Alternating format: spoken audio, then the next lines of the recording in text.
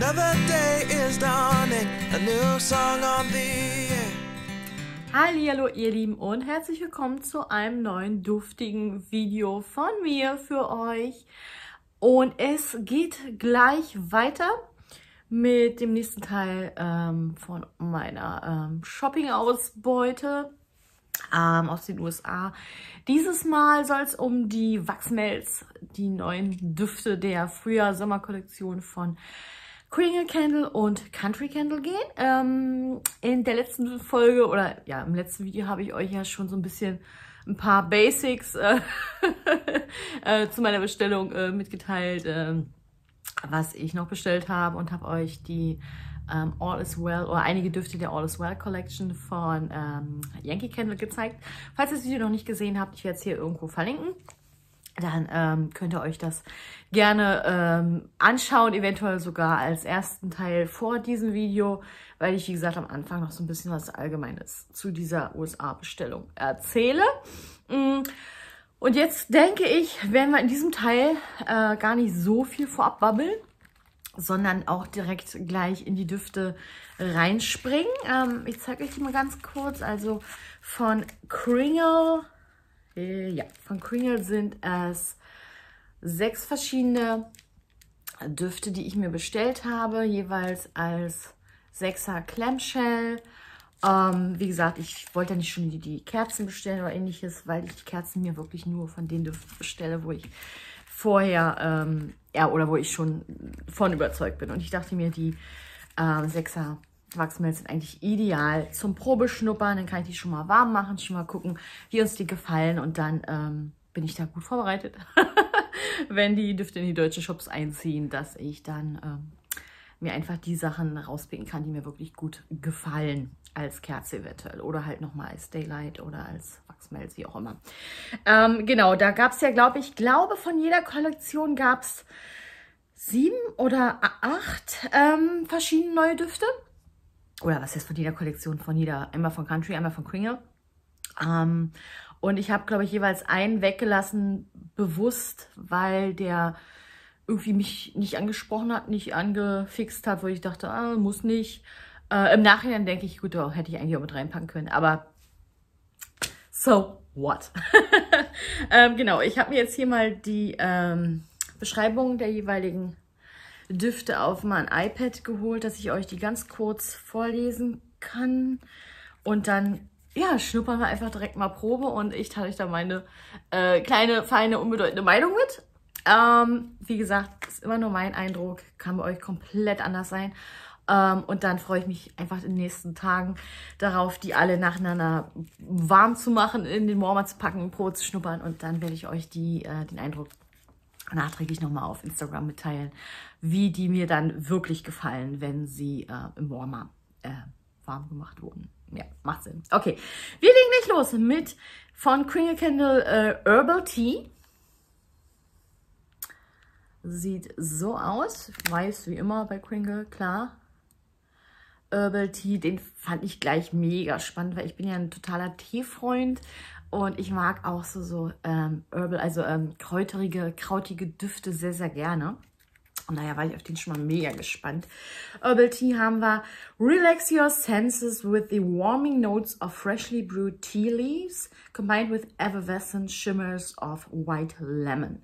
Soll heißen, äh, ja, frisch gebrühte Teeblätter mit, ähm, ja, weißer Limone, Lime, Zitrone, Lemon, Zitrone. also auf Deutsch, Kräutertee mit Zitrone. Und ähm, ja, ich bin gespannt.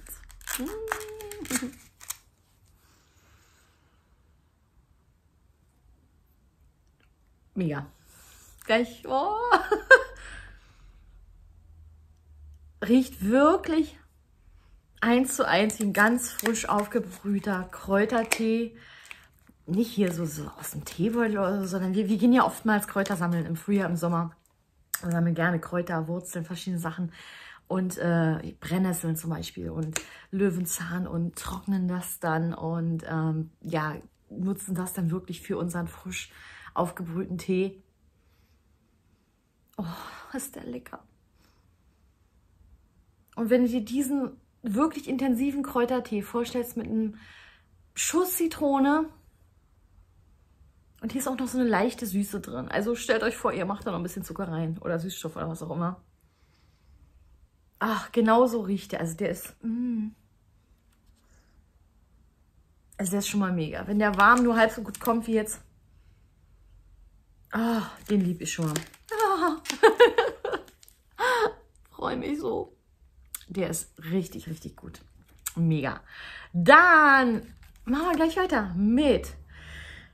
Ist auch diesmal irgendwie sehr Cerealienlastig. Also so, so äh, Frühstückslocken und Co.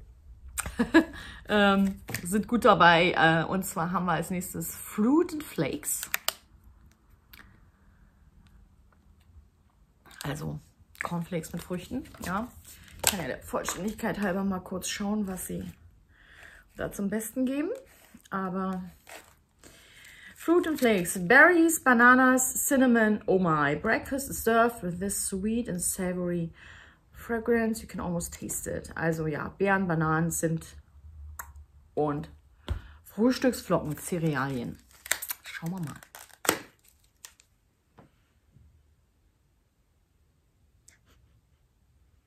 Ja. Ich nehme da gleich so eine ziemlich dolle Zimtnote wahr, was mich jetzt so ein bisschen...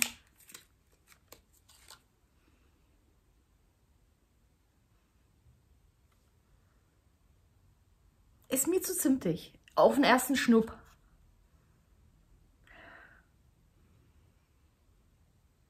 Du hast schon so, so ein bisschen was, ja, Cerealienmäßig, also so Cracker, Graham Cracker, ähm, ähm, ähm, ähm, ähm wie heißt das, ähm, ja, Vollkornflocken, Kornflocken.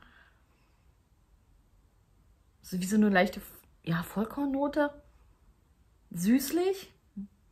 Beeren nehme ich gar nicht wahr. Auch Banane nicht, aber das kann ja noch kommen. Aber erstmal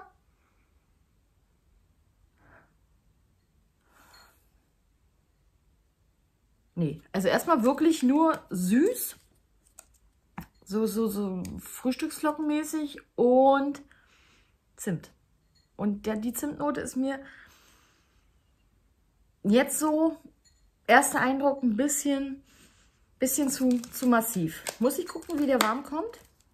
Weil ähm, so rein vom Bild und von der Beschreibung her hätte ich mir da jetzt so ein bisschen mehr so eine leichte Fruchtnote äh, gewünscht und erwartet. Aber muss ich gucken. Aber erstmal die Zimtnote, weiß ich nicht, weil ich weiß ja nicht, wie ihr das handhabt, aber ich esse meine Cornflakes selten mit Zimt.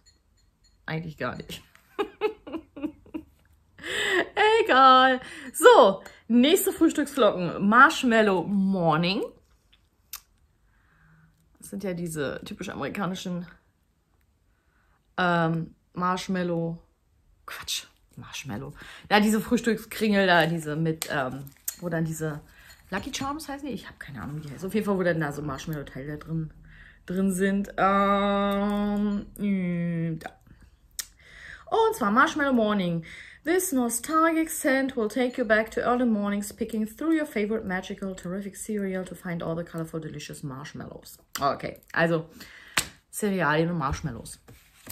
Mit viel Geschichte drumherum. Schauen wir mal. Ja, der ist schon eher meins. Der ist schon, der ist, der ist lecker. Oh, der ist schön. Hm.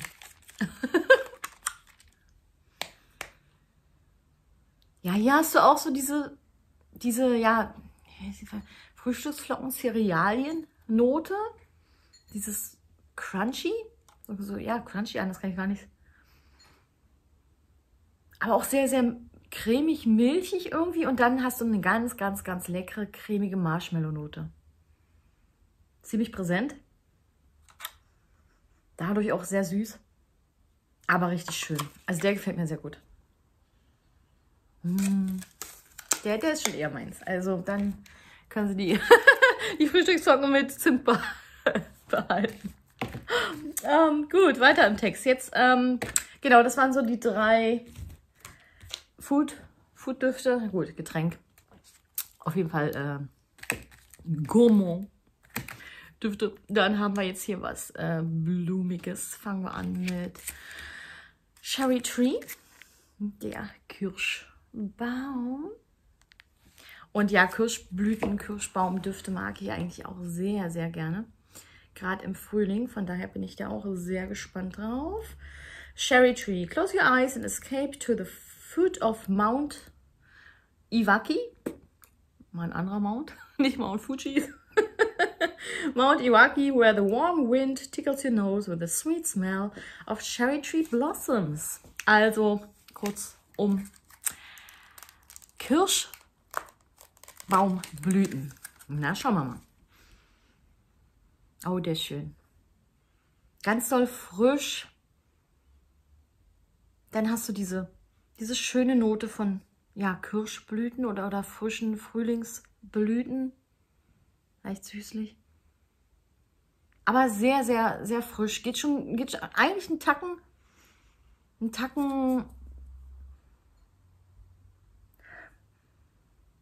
einen Tacken zu sehr schon fast für mich in die frische Wäsche Weichspüler Richtung, muss ich sagen. Aber es ist schon eine richtig schön, schöne, ähm, süßliche Kirschblüten. Note. Aber mit einer ordentlichen Portion ähm, Weichspüler, frische. Ja. Es ist schön, aber ähm, für mich kein Everyday-Duft. Also der, muss schon, den kannst du so, so mal gut äh, reinmachen, wenn du gerade frisch, frisch, frisch die Betten bezogen hast. Dann war es sehr, sehr gut. Ähm, aber es ist nett. Also definitiv nicht schlecht, aber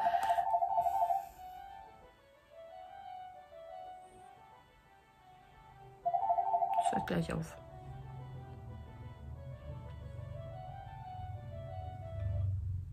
Sag ich doch. Es war nur ein Erinnerungsanruf. Alles gut. Kann sein, dass es gleich sogar nochmal klingelt. Ähm, wo war ich stehen geblieben? Genau, also schön, aber man sollte wissen, dass er schon sehr in die frische Luft, frische Wäsche äh, Richtung geht. Als wenn du frisch gewaschene Wäsche draußen im Garten unter einem Kirschbaum aufgehängt hast. So, next one. Äh, Wisteria. Guckt euch dieses bezaubernde Label an. Die Labels finde ich diesmal auch, ich, ich, bin mir gar nicht sicher, ob ich die, Entschuldigung, mir die Nase, sorry, ähm, die sind so ein bisschen ähm, artsy, ähm, wie soll ich sagen, künstlerisch angehaucht. Also es sind keine Originalfotos, sondern die sind teilweise so, so mh, also ein bisschen mit irgendwelchen Filtern bearbeitet, dass es so, so artsy aussieht. Also stellt euch einfach irgendeine App auf dem Handy vor, wo du tausend verschiedene Kunstfilter drüber packen kannst. Ähm, das hat Kringle diesmal einfach mal gemacht. ähm, Finde ich zum Teil sehr, sehr schön und kann mir die auch sehr, sehr schön auf, auf den äh, Gläsern vorstellen und habe die Gläser schon gesehen, die sehen auch echt toll aus. Also diese hier zum Beispiel auf den Gläsern, oh, der ist so schön. Wisteria und ich, da bin ich echt gespannt drauf, weil ähm, wir haben die im Sommer auch immer bei uns im Garten und ich mag die so, so, so, so gerne. Hier haben wir sie. Feel the warm summer breeze enveloping your nose with a seductive aroma of wisteria and night blooming jasmine. Also Nachtblühen, Jasmin und Wisteria. Wie heißen die denn? Äh, Goldregen? Ja, Goldregen, ne? Nee, Goldregen ist ja der gelbe. E Google. Da oben irgendwo. äh, genau. So. Blauregen. Blauregen. Goldregen ist der gelbe. Egal. Oh, der ist schön. Die Jasmin-Note riechst du natürlich schon ziemlich doll raus. Also man muss Jasmin mögen, definitiv. So dieses süßlich-florale. Aber an sich ist er sehr schön. Das ist für mich ein wirklicher Sommer. Es, es riecht wie Sommer im Garten. Ja, schön. Also du, hierzu musst du echt floral mögen. Also der ist richtig süßlich, schwerblumig. Also da musst du schon floral mögen, glaube ich.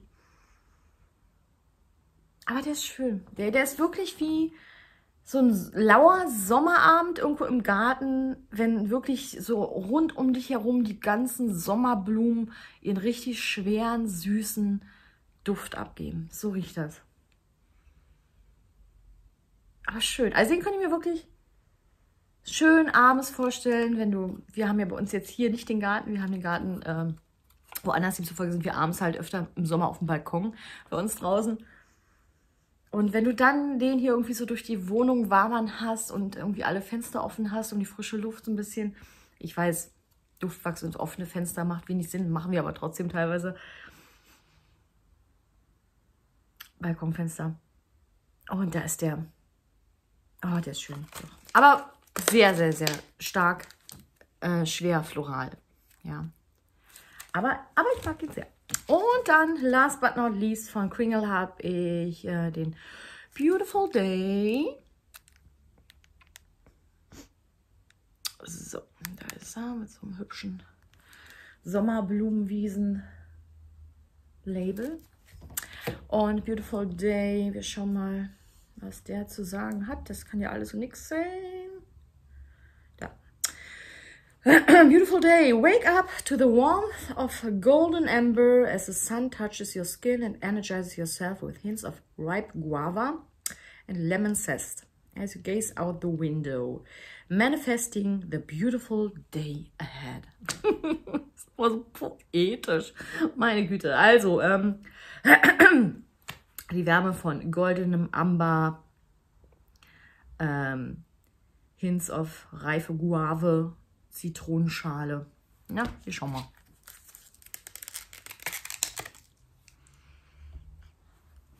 Ja, zuerst kommt bei mir so diese fruchtige Note, was dann gar nicht mal zitrisch unbedingt, also Zitronen nicht. Das könnte dann diese Guave sein. Wenn ich es jetzt nicht gewusst hätte, hätte ich auch gesagt, es ist vielleicht eine Mango oder irgendwas. Also irgendwas leicht exotisch, fruchtig, süßes. Zitronen rieche ich jetzt so gar nicht, worum ich auch nicht böse bin, weil wenn es zu zitronenlastig ist, kommt es bei mir auch oftmals so putzmittelmäßig rüber.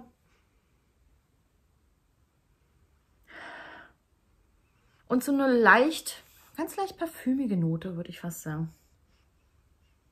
Cremig, parfümig. Und dann diese, diese leichte, süß, fruchtige Note. Aber der ist ein bisschen, ein bisschen on the lighter side im Vergleich zu den anderen.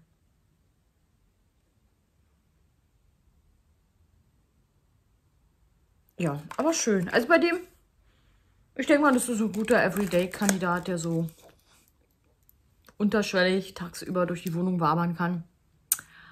Ah, a beautiful, nein, nur beautiful day ohne A.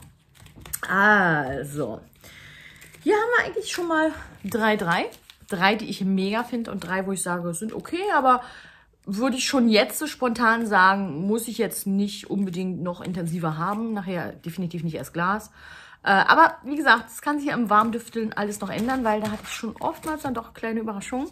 Ähm, aber jetzt so auf dem First Cold Sniff, ähm, der Herbal Tea, der ist mega, super intensiv und super lecker.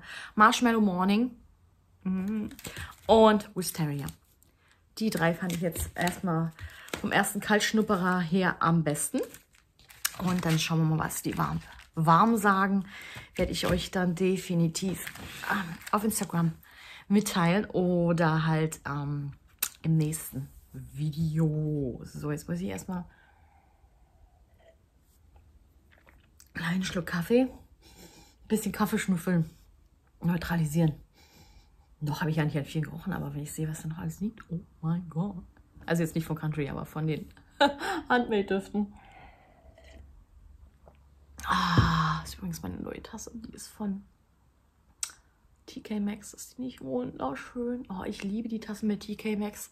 Jedes Mal, wenn ich zu TK Maxx fahre, ich könnte da, boah, Tassen, ey. Alter, Alter. So, Country. Ähm, genau, da habe ich, glaube ich, auch eine weggelassen, die ich nicht genommen habe. Ich weiß es nicht. Auf jeden Fall sind es bei Country 7, die ich mitgenommen habe. Schöne sommerliche Farben. Geht schon fast so ein bisschen in die... Sie sind eigentlich relativ für, für sommerlich recht und frühlingshaft recht dunkel. Ne? Einfach, wenn ich jetzt so, so sehe.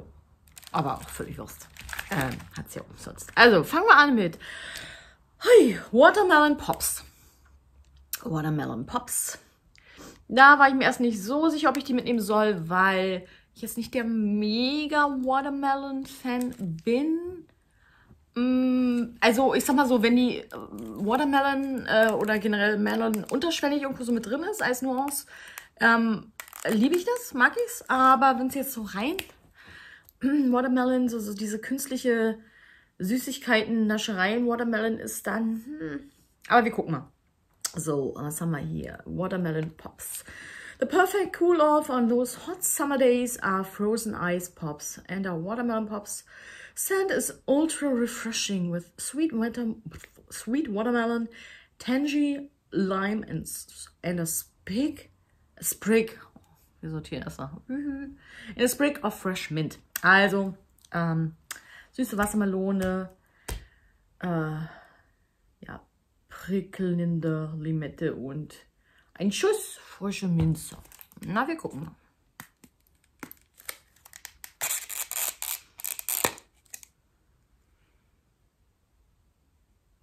Na, schön.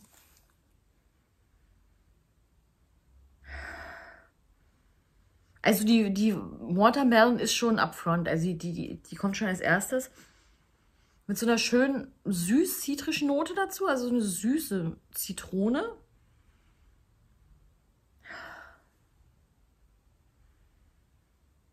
ja, spritzig, süß, frisch. Minze nehme ich jetzt nicht so direkt wahr.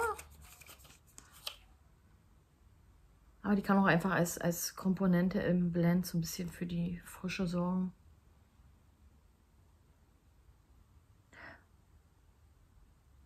Lecker, gefällt mir gut. Also für den Sommer, glaube ich, ist es ein richtig, richtig schöner Duft. Und ich bin eigentlich positiv überrascht. Also wie gesagt, Watermelon. Mh. Hm? Aber durch diese süßliche Zitronennote, das ist fast wie so ein Zitronenlimo, finde ich den sehr, sehr angenehm. Doch, gefällt mir. Bin ich gespannt drauf. Mal schauen. So, dann äh, Lemonade. Dragon Fruit Lemonade. ist next up. Drachenfrucht Limonade.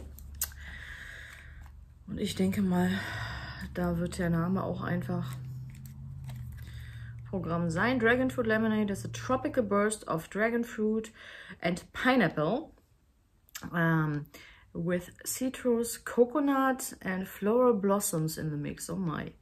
Our recipe is the essence of summer. Okay, also Dragon Fruit, also Drachenfrucht, Pineapple, ähm, ähm, Ananas, Zitrus, Kokosnuss, Florale Blüten.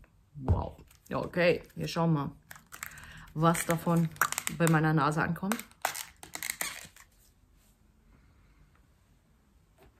Oh, der ist lecker. Der ist schön. Das ist ein richtig schön frischer, leckerer, süßer Sommerduft. Das ist wirklich wie, als wenn du so eine riesengroße Karaffe mit, mit irgendeiner zuckrig süßen Fruchtlimo so, so Homemade Fruchtlimonade auf dem Tisch stehen hast. Zu den einzelnen Komponenten, ich würde jetzt, also die Drachenfrucht würde ich nicht rausriechen, aber eine Drachenfrucht, ja, die hat jetzt für mich auch nicht so einen intensiven Eigengeruch. Also auf jeden Fall nimmst du definitiv eine zitrische Note wahr. Limette, Lim Limette, Zitrone, irgendwas in diese Richtung. Ja, Zitrone, so eine süße Zitrone, süße, saftige Zitrone. Und das, ich habe immer das Gefühl, rede in so ein Mikro hier rein, so hallo, hallo, hallo, hallo, hallo. ähm,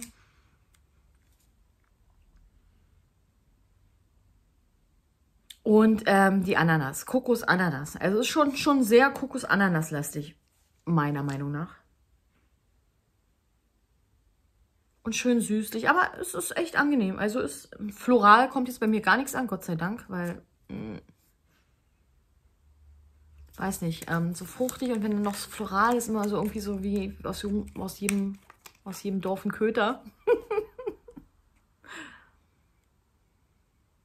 ja, schön. Richtig schön zitrisch, frisch, erfrischend. Lecker, mag ich. Dragon Fruit Lemonade. Ich denke mal, der kommt warm auch richtig gut. So vom, vom Gefühl her bin ich gespannt drauf. Dann bleiben wir gleich mal bei den Getränken und bei Ananas Pineapple Reader. Pineapple Reader. Ähm, sicherlich auch was Getränkemäßiges mit Ananas. Ananas Margarita, keine Ahnung. Poolside or Beachside. Enjoy Pineapple Reader. Reminiscent of a Margarita with a boost of flavorful fruits, cilantro and sweet earthy accents. Okay. Also Margarita mit ähm, ja, mit einem fruchtigen, also mit Frucht, Fruchtmargarita, Ananas, Cilantro und earthy, süße, erdige Akzente. Na gut, schauen wir mal.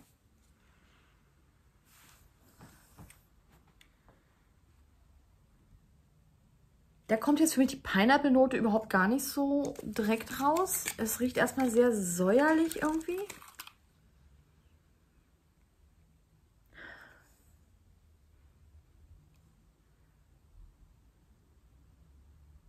Sehr herb, herb säuerlich, herb säuerlich, fruchtig. Aber der hat für mich ganz ehrlich jetzt auf den ersten Moment gar nichts so, so Cocktail, getränkmäßig. Ist für mich eher ein, sorry, ein Badezimmer, ein Toilettenduft.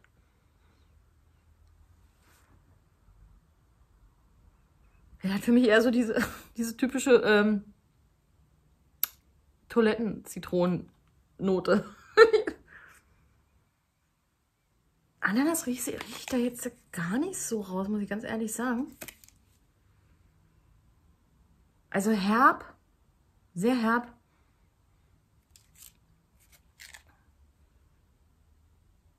Herb, säuerlich, zitrisch. Hm, da muss ich gucken, ob ich mit dem muss ich erst warm werden. Warm werden, ob der mir gefällt oder nicht. Dann, äh, nächste ist Spiral Aloe. Voll schön, oder? Schöner grüner Wachs. Und ja, da denke ich mal so eine Aloe Vera Note, wässrig, frisch. Gehe ich mal von aus. Wir gucken mal.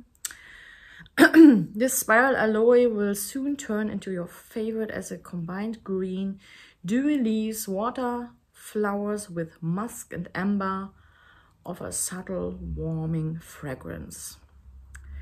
Wie gesagt habe, ja, grün, dewy, äh, tau bedeckte, dewy, ja, dew, morning dew, rare old mountain dew, dewy leaves, äh, Blätter, Wasser, Blüten, weißer Moschus und Amber. Wir gucken einfach mal. Ja, genau so riecht er. Wenn du mich gefragt hast, wie er riecht, dann hätte ich erwartet, dass er genau so riecht. Aber sehr intensiv auch, richtig intensiv. Schön. Ganz leicht ähm, parfümig schon. So eine Badez, äh, nicht Badezimmer, Bodylotion-Note. Ja, schon für mich so eine starke Creme-Bodylotion-Note. Ansonsten so Aloe Vera, ja, also so dieses wässrig, frische, grüne und leicht floral.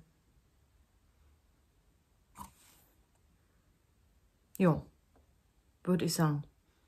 Also es ist nice, aber ist für mich, glaube ich, eher auch so, so durch diese, diese sehr, sehr starke Bodylotion-Note oder Creme-Note äh, wäre der für mich, glaube ich, eher auch so ein Badezimmer-Kandidat.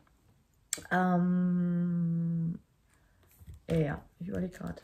So, ich sortiere mich gerade so ein bisschen gleich. Ähm, dann haben wir Strawberry Mint Tart. Ja, und da hoffe ich natürlich, dass mir der gefällt, weil Erdbeerdüfte, ja, mag ich eigentlich sehr und gerade auch in Kombination mit Gebäcknoten, schönes Rot guck mal der Vollständigkeit halber, obwohl da jetzt bestimmt keine großen Überraschungen drin sein werden. Strawberry Mint Tart is a tantalizing tart filled with fresh strawberries, lemon, vanilla. Das teigige Aroma und die Flaky Crust, also die, die, die Kruste, äh, ja, Kruste drumherum. Kruste sagt man beim Kuchen Kruste? Beim Brot sagt man Kruste, beim Kuchen. Wenn das so ein bisschen kross, ist das auch eine Kruste beim Kuchen? Egal. Ähm, Sweet Cream, süße Sahne. Ja, also Erdbeeren, Zitrone, Vanille, Gebäck, Sahne.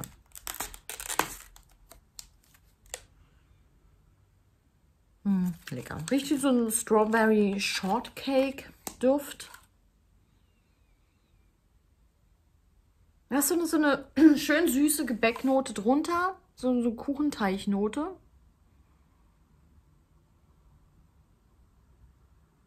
Und ansonsten eine schöne, recht süße Erdbeernote. Also nicht, nicht so fruchtig erdbeerig. War schon eher so, so eine süße Erdbeere. So eine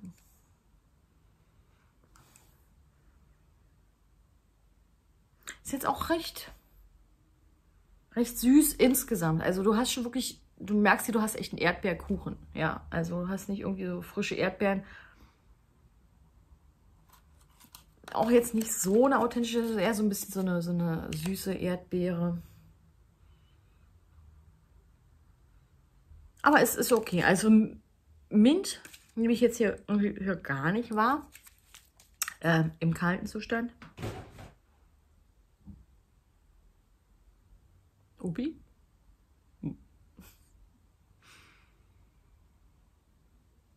Erdbeerkuchen. Ähnlich wie so ein Strawberry Shortcake ähm, Duft. Genau. Äh, das ist der. So. Dann haben wir noch ähm, Blueberry Cream Pop.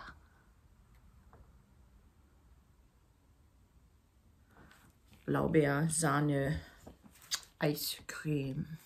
Ähm, wo ist er? Da ist er. Blueberry Cream Pop. Um, who doesn't love a cool cream pop on a stick? Or with a wick?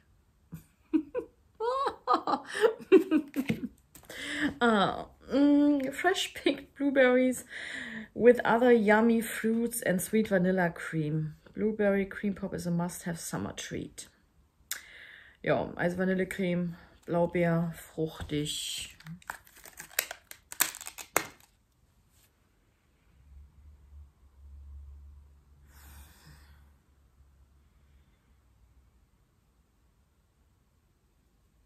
Der hat, ich muss dazu sagen, ich habe sonst Blaubeerdüfte mochte ich meistens überhaupt nicht.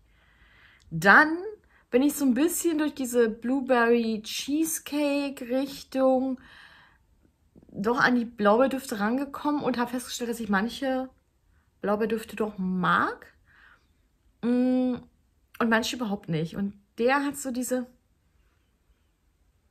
hat diese leicht florale Note. Ich weiß gar nicht, wie ich es anders beschreiben soll. Es gibt eine leckere Blaubeernote, es gibt eine muffige Blaubeernote und es gibt so eine leicht florale Blaubeernote für mich. Und der hat diese florale Blaubeernote die ich nicht so, kann ich nicht. Weiß ich nicht, aber ich glaube, ich glaube, der ist nichts für mich. Hm? Nee, oh, nee, nee, nee, nee, nee. Der hat genau diese Florale, ich kann es nicht anders beschreiben, Blaubeernote, die ich nicht, kann ich nicht, kann ich nicht. Ich merke da jetzt auch ich kriege, glaube ich, auch für mich jetzt echt nur diese Note raus. Und nichts äh, sahnig, eiscremig. Nee, der ist nicht meins. Ich glaube, der, ich glaube, wir, wir werden keine Freunde. Ich glaube, den brauche ich nicht mal in die Lampe packen. Der wird dann wahrscheinlich in irgendein Tauschpaket wandern oder so. Äh, der Blueberry Cream Pop. Nee, nie, nie, nie. Aber wie gesagt, nur meine bescheidene Meinung, ihr könnt ihn lieben, also, ja. Und dann haben wir noch den Neapolitan Sunday. Ähm, wie heißen die Dinger bei uns? Ähm, Fürstpückler. Fürstpückler Eis mit Vanille, Schoko und Erdbeer. Und ich gehe mal davon aus, da wird auch nichts anderes The scoop on your sunny is lovely layering of sweet chocolate, velvety vanilla bean und fresh strawberry ice cream. Top it with a whipped cream.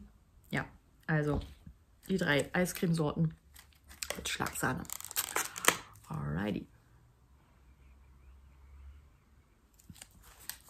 Der ist nett.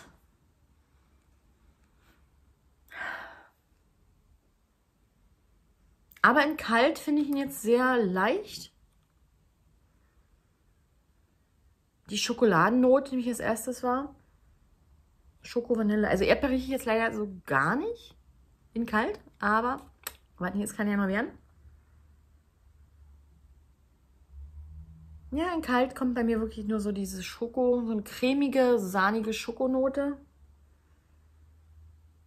Und relativ leicht. Also ich hoffe, der, der hat noch ein bisschen mehr Power unterm Hintern, wenn der, wenn der warm wird. Weil jetzt so in kalt. I don't know. Okay, wir sind durch. Wup, wup. Ähm, ich mache mal ganz kurz ein Sum-Up. Ihr könnt mich ja gerne oder könnt mir ja gerne in den, unten in den Kommentaren wieder wissen lassen, welche welche ähm, Düfte euch am ehesten ansprechen. Würde mich mal interessieren, welche ihr vorhabt, euch zu besorgen. Ähm, ich glaube jetzt so, so meine Favorites. Also ich muss sagen, insgesamt war ich jetzt so auf den ersten Schnupp von den Kringle-Düften definitiv mehr angetan als von den Country Candle-Düften. Subject to change, also kann sich immer noch ändern. Nur jetzt so auf, dem ersten, auf den ersten Eindruck. Ähm, meine Favorites waren eigentlich ähm, definitiv der Dragon Fruit Lemonade. Ein richtig, richtig schöner sommerlicher Limonadenduft, fruchtig. Und, surprise, surprise, der Watermelon Pop. Der riecht wirklich auch echt schön sommerlich frisch. Ähm, hat mir echt sehr gut gefallen. Ähm, die anderen so bei dem Neapolitan Sunday, weiß nicht, muss ich mal gucken. Der Spiral Aloe ist mir ein bisschen zu Body Lotion mäßig. Ja, Body Lotion oder fast Duschgel. Also der könnte für mich echt ins Badezimmerduft für mich. Hm? Aber vielleicht auch einfach, weil man so dieses Aloe, ja, kennt man ja Aloe Vera sehr viel aus Cremes und Körperpflegeprodukten.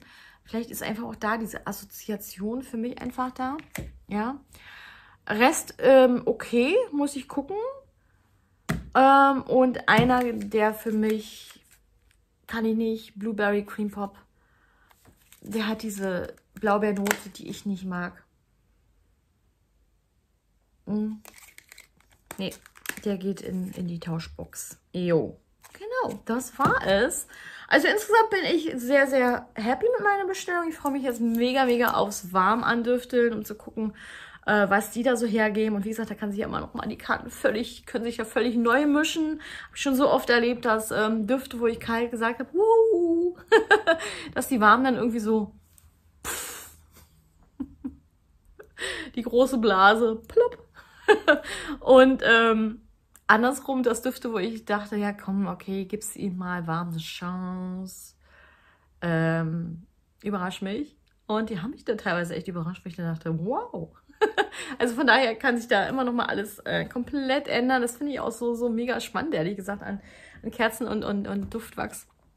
Dass da einfach warm nochmal sich eine ganze, ganz andere Welt eröffnen kann zum Teil, ja. Und auch gerade so im Laufe der Zeit auch, wenn du die warm machst, das, was am, als erstes kommt, die Kopfnoten und was dann wirklich so von dem Duft übrig bleibt im Laufe der Zeit, wie, der, wie er sich auch verändert, einfach die verschiedenen Kombinationen, äh, die verschiedenen Duftkomponenten in der Kombination, ähm, finde ich persönlich immer mega, mega spannend, ja.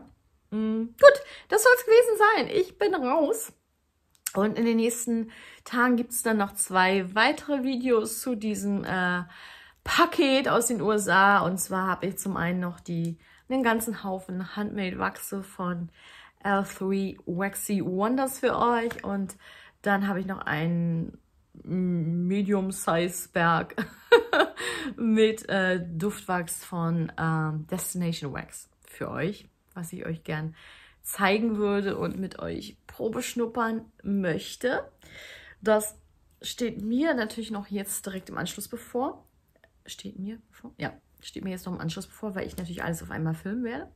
Weil ich die Wachse natürlich A wegräumen möchte und B benutzen möchte. Hm. ähm, von daher ähm, ja, freue ich mich jetzt aufs Weiterdüfteln, weiter Probeschnuppern, aber ihr werdet diese Videos dann halt innerhalb der nächsten Tage irgendwann zu sehen bekommen. Gut, ich bin erstmal raus für euch, wünsche euch einen wunderschönen Tag, einen wunderschönen Abend und bis demnächst.